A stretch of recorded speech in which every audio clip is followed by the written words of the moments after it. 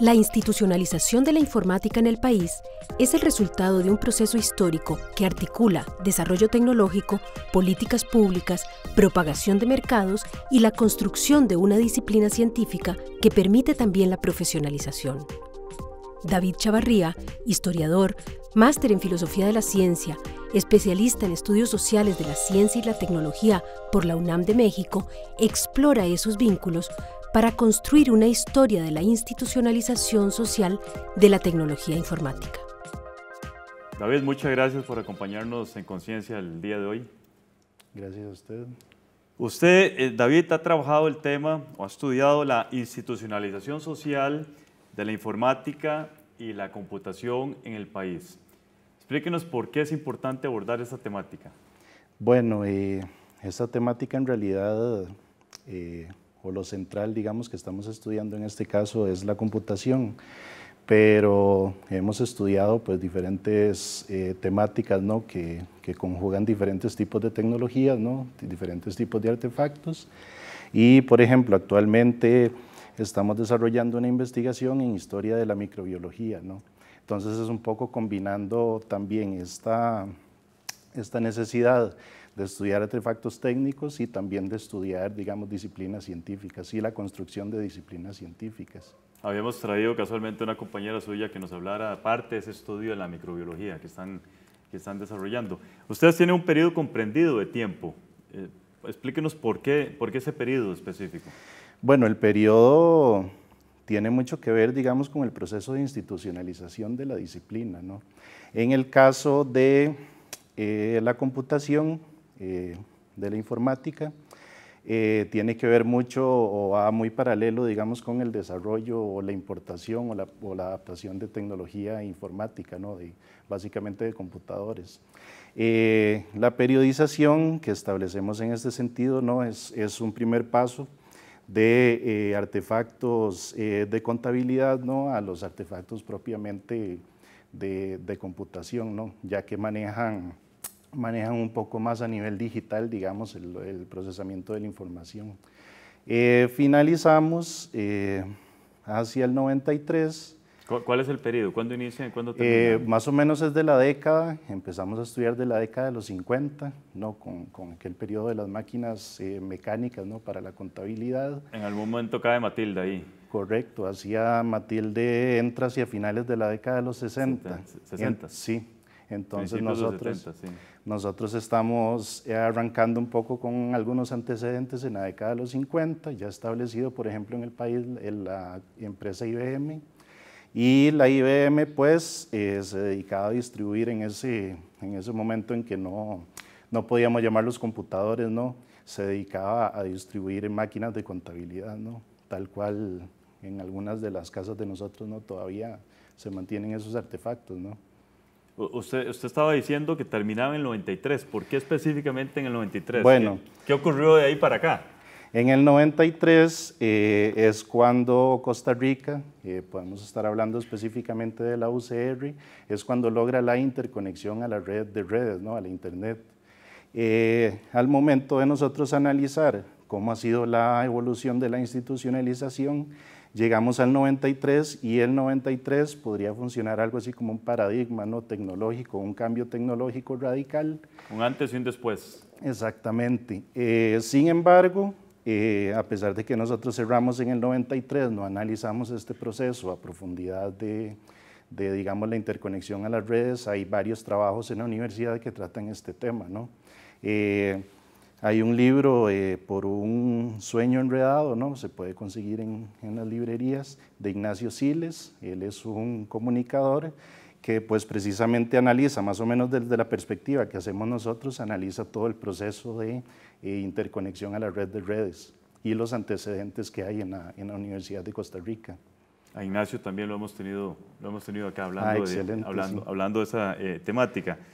mucho de lo que usted ha hecho, David, usted lo aborda desde el punto de vista de ciencia, tecnología y, sociedad. Coméntenos, ¿por qué, ¿por qué, este abordaje? Bueno, eh, podríamos empezar hablando un poco de lo que se ha escrito en Costa Rica eh, sobre el tema de la historia de la computación y de la historia de la informática. ¿no?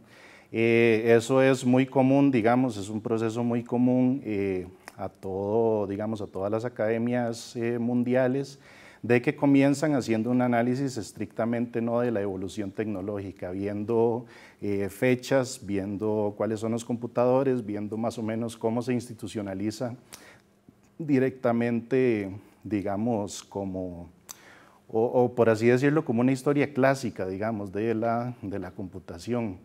El agregarle este componente CTS, ¿no? Ciencia, Tecnología, Sociedad, nosotros lo que estamos tratando es de enfocarlo en un proceso un poquito más social, ¿no? que tenga explicaciones más de carácter social o ligado a, eh, por así decirlo, a un enfoque externalista, ¿no? en el sentido de que muchos de los procesos políticos, muchos de los procesos culturales y sociales afectan y se ven afectados por este proceso de, de institucionalización ¿no? de la computación o desarrollo de la computación.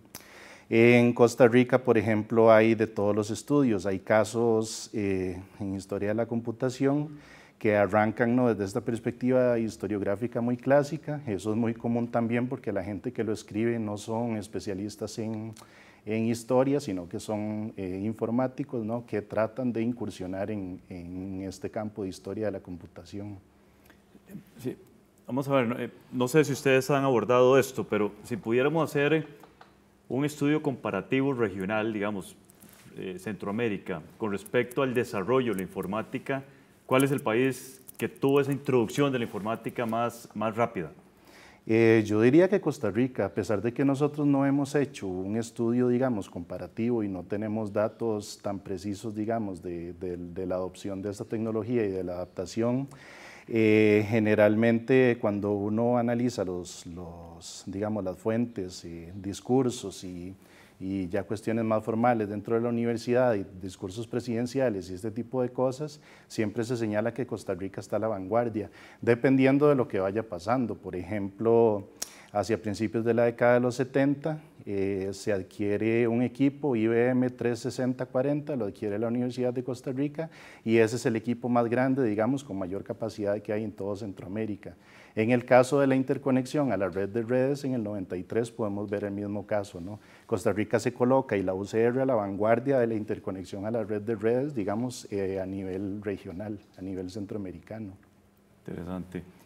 ¿Qué, qué, situaciones, ya casi nos quedamos sin tiempo, qué situaciones particulares se dieron para que Costa Rica tuviera casualmente ese buen desarrollo de la, de la, de la, de la informática, David? Bueno, precisamente eh, tiene que ver un poco con esa capacidad que en algún momento, digamos, eso hay que periodizarlo muy bien, pero es esa capacidad que en algún momento tuvo el, el Estado costarricense o, o, los gobiernos, digamos, en ese periodo, que no tuvieron eh, los demás gobiernos centroamericanos. Eso tiene que ver mucho también por los contextos bélicos y este tipo de cosas. ¿no?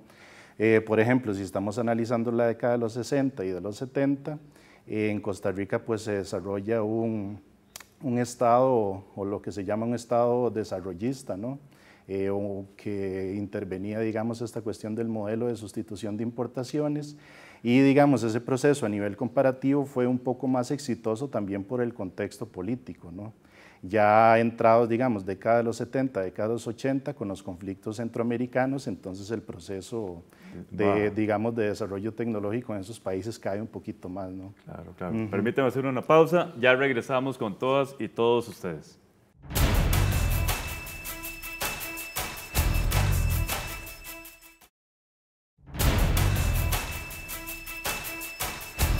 Gracias por continuar con nosotros. Estamos hablando sobre la informatización de la Universidad de Costa Rica y el, y el país en términos, en términos generales. Eh, David, coméntenos cómo se da la profesionalización en el campo la, de la informática, particularmente en Costa Rica. Bueno, la, la, cuestión de la profesionalización es, digamos, uno de los criterios que utilizamos nosotros para estudiar eh, este proceso de informatización. ¿no? Eh, la profesionalización tiene que ver eh, digamos, partiendo de, un análisis o de un concepto muy sencillo, de una definición muy sencilla, tiene que ver con la creación, digamos, de la computación como una profesión.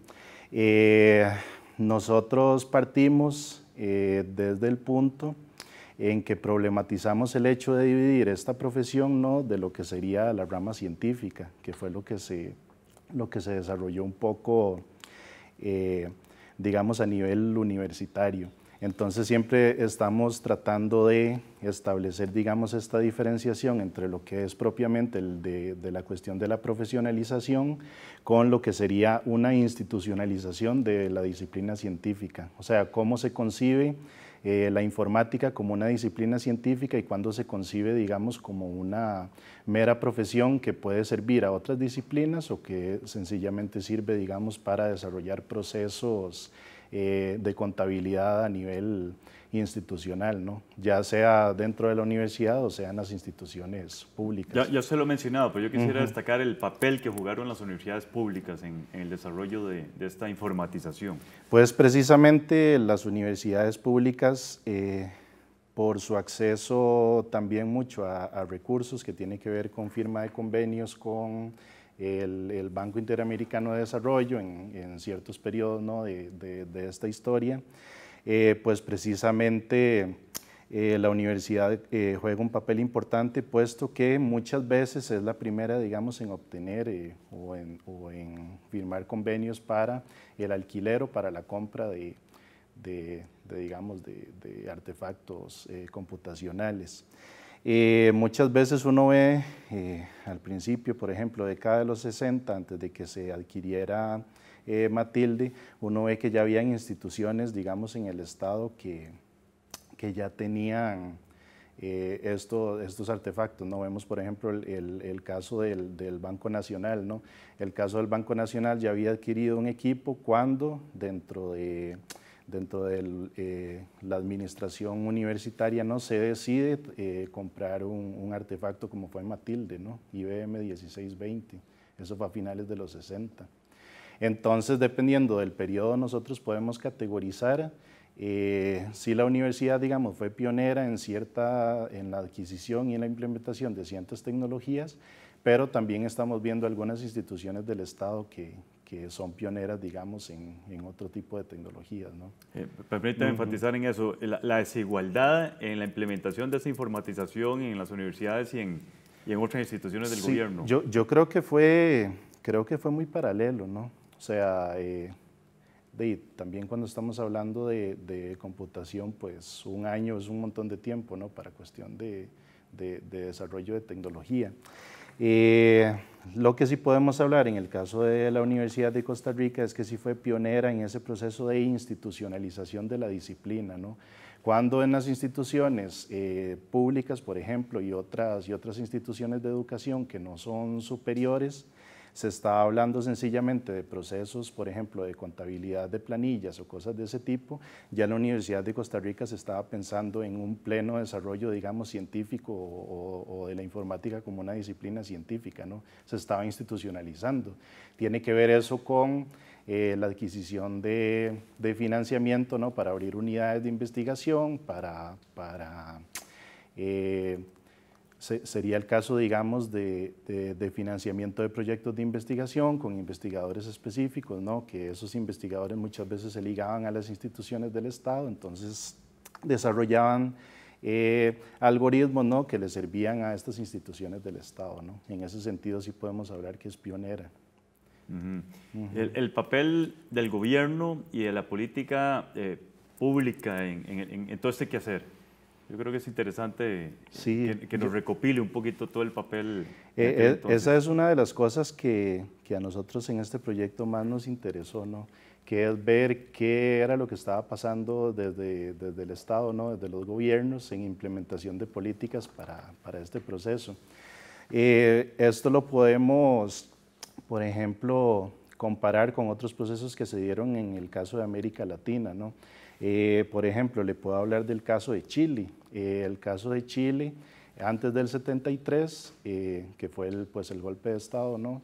Eh, hubo procesos de tratar de institucionalizar, digamos, el manejo de datos ¿no? y el control de las industrias estatales en Chile.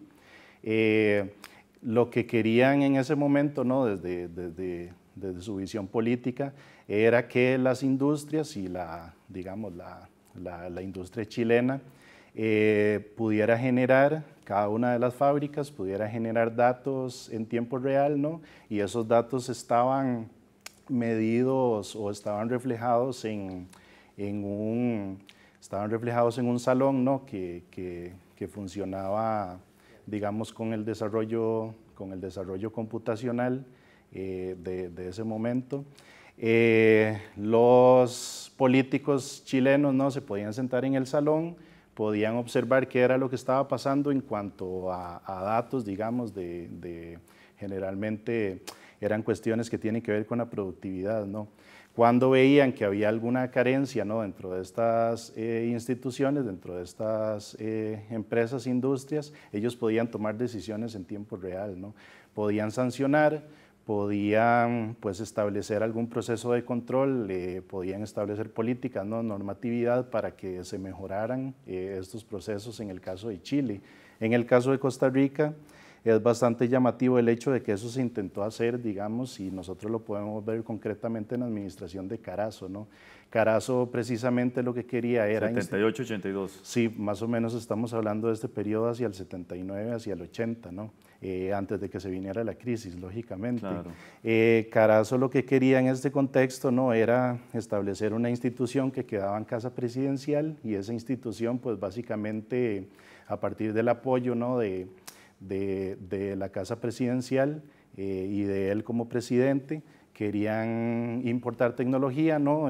que las empresas obtuvieran esto, ¿no? La, en ese contexto obtuvieran tecnología eh, y esa tecnología, eh, pues básicamente lo que iba a servir era para eh, hacer más eficientes los procesos en estas, en estas empresas nacionales, ¿no? que generaran datos, que los datos se pudieran igualmente que lo que se hace en Chile, ¿no? que los datos se pudieran ver en tiempo real y a partir de eso tomar decisiones. ¿no?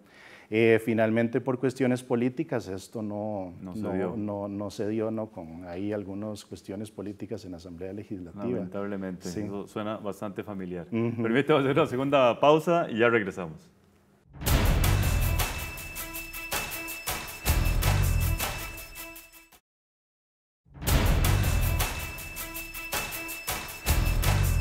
Gracias por continuar con nosotros. Eh, David, ¿cómo se da el proceso de popularización, si podemos llamarlo de esa forma, de, la computación en nuestro país?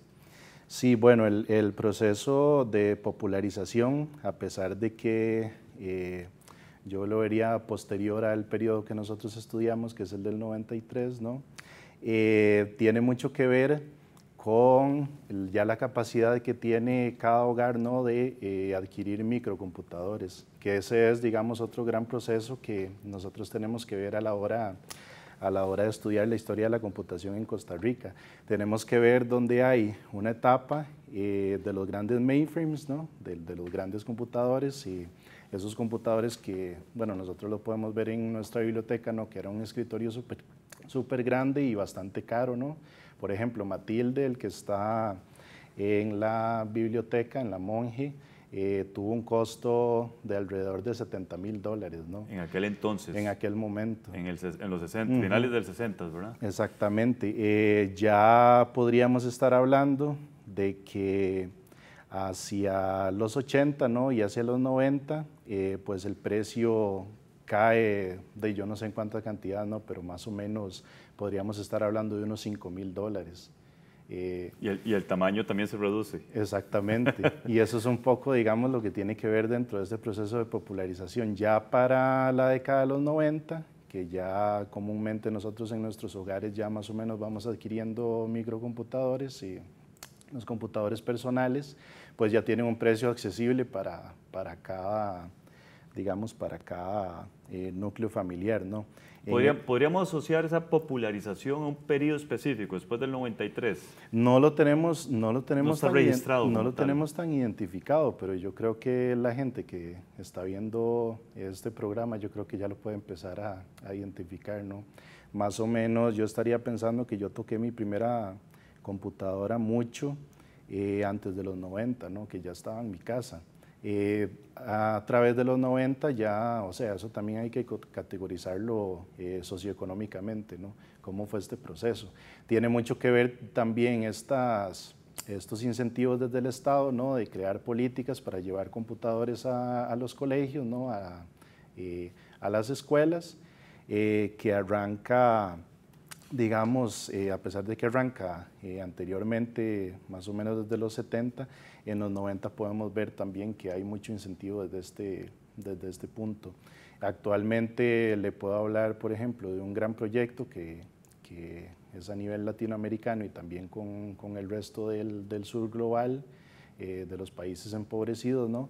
Podemos hablar de estos proyectos, por ejemplo, de One Computer per Child, ¿no? Solo el título, una computadora por, por, niño, da a entender que este proceso pues arranca más o menos alrededor de los 90 en el caso de, de, de la región y se extiende hasta la actualidad, ¿no? Con este tipo de, de incentivos.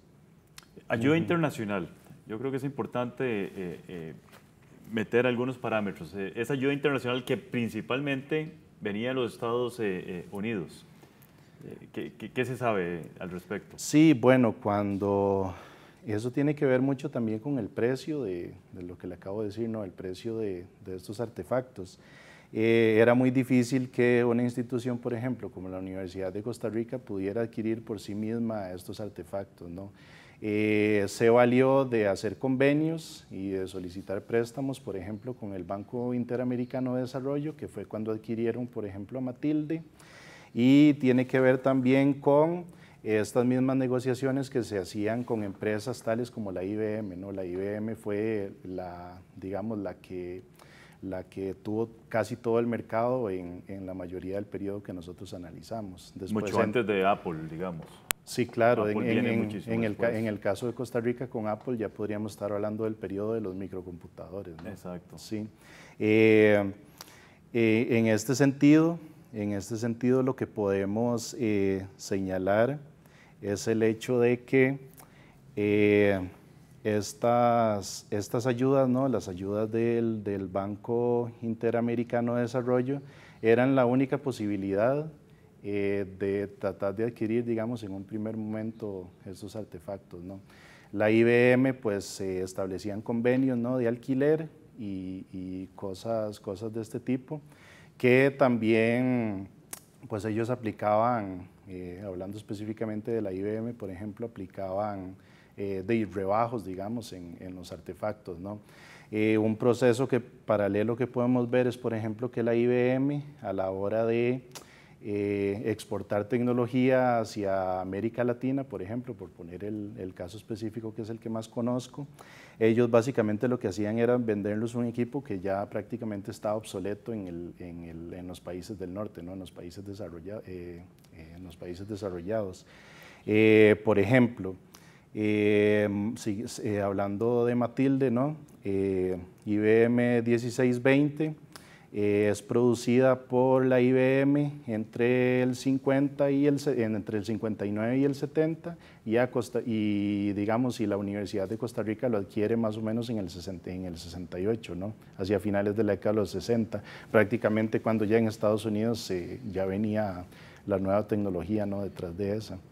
Ese es un poco el, el proceso que se da. esa inyección económica internacional favorece de una u otra forma las redes, también las redes sociotécnicas y todo ese tipo de cosas donde se desarrolla la computación. Sí, bueno, eh, lo podemos ver en un sentido de, favorecer, pero también lo podemos ver en un sentido de, de encapsular, digamos, todo, todo este desarrollo sociotécnico.